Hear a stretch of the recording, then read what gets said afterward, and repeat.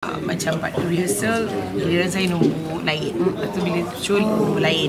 Jadi um, benda banyak benda dalam masa yang sama. Bila kita buat persembahan dalam masa yang sama kita kena dengan muzik tiba-tiba muzik kita hilang ke apa benda kan kita tak boleh eh kejap tak dengar. Tak boleh. Ha, satu. Lepas tu ke condition macam awak dengan saya bercakap sekarang ni pun suara dah rabak.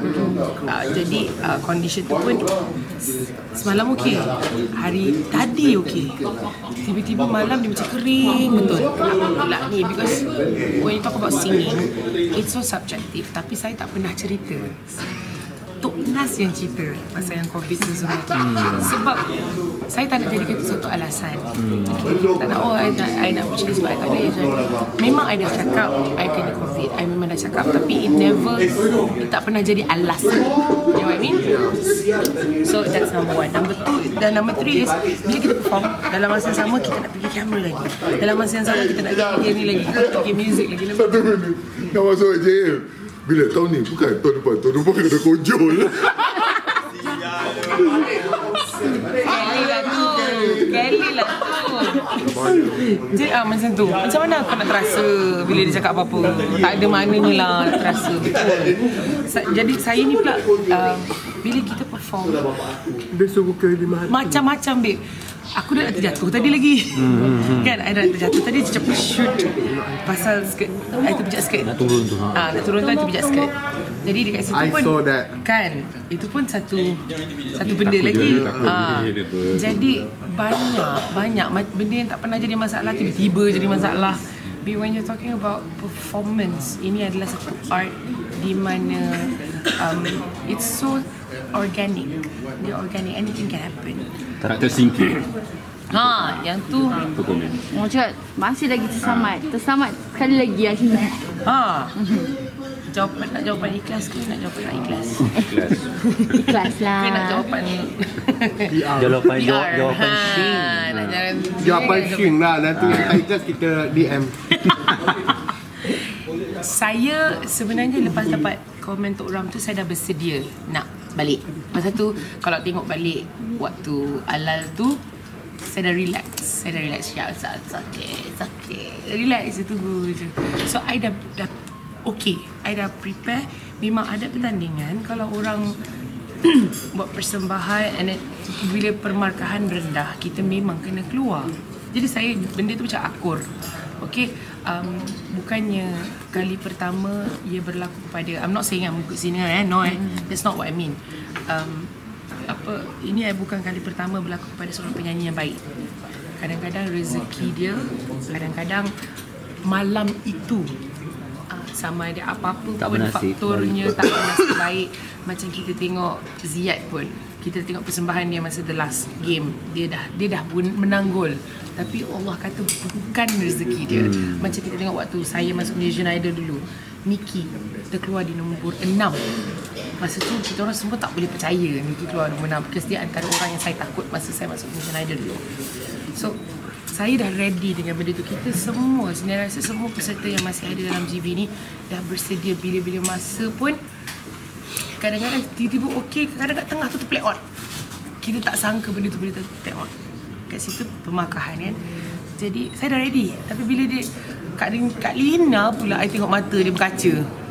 I tengok muka dia macam I love you tau I love you I love you too. I tengok mata dia dah, dah, dah merah. Saya macam lah kakak I okay I okay I serious I okay. Sekali bila keluar lagu tu dia yang dia yang peluk I. Hmm. okay kakak.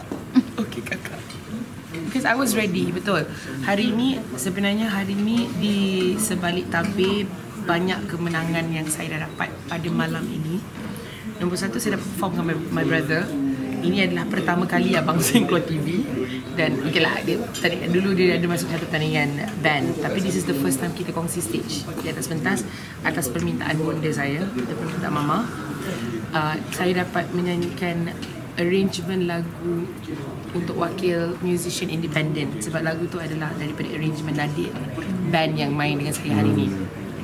Jadi saya nak memperjuangkan independent musician.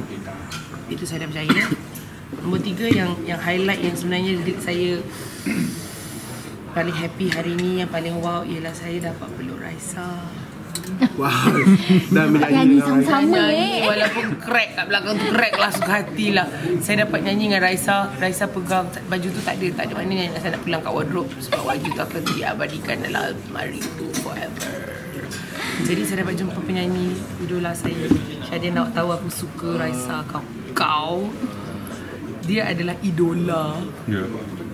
jadi saya dapat jumpa dia hari ni Jadi banyak kemenangan yang saya dah terima di belakang pentas sebenarnya. Banyak benda best lah. banyak benda biasa hari ni Jadi Alhamdulillah saya dapat pakai my favourite colour Which is green. Tapi dalam masa yang sama membuka perspektif lain adalah Itulah macam saya cakap last time kita lihat ramai yang sayang agaknya jadi nak Lina, buat apart from penyingkiran that, kan, you once told me that you tak pernah rasa you ada peminat, kan? Yeah. You remember? Yes. Tapi you tengok macam orang sayang you tadi, they were yelling and shouting your name Yeah. masa hampir-hampir tersingkir tadi. Sekarang Dina ada nampak kan sebenarnya orang ramai appreciate your bakat. Do you aware of that? Sekarang, Sekarang love like lama eh Lama eh Ah, She she slow eh ah, ah. she happy now lah. Cik, saya bersyukur. More than happy, happy is understatement. Ya. Happy is an understatement. Saya bersyukur yang sebenarnya orang nampak juga seorang Dina Nazir walaupun dah 18 tahun dalam industri. Yes. Seorang nampak juga yang yang masih ada yang nak suruh saya teruskan berjuang dan benda tu macam it's very touching for me. Jadi mungkin itu juga yang jadi stres macam apa aku nak buat minggu depan? Apa aku nak buat minggu depan? Macam mana cukup ke tidak aku nak buat minggu depan? Dengan lagu yang itu ya. yo.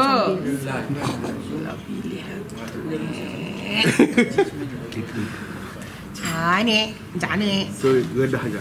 Redah saja. Dina, um, pada tahap ni kan, sejauh mana awak serius tentang kejayaan nyanyian awak? Because orang tengok awak selesa sebagai penyampai kan, tapi sekarang ni macam mana? Kalau saya rasa kalau saya tak serius tentang kejayaan muzik saya tak join GV kot. Lagi-lagi dengan barisan yang macam ni yang monster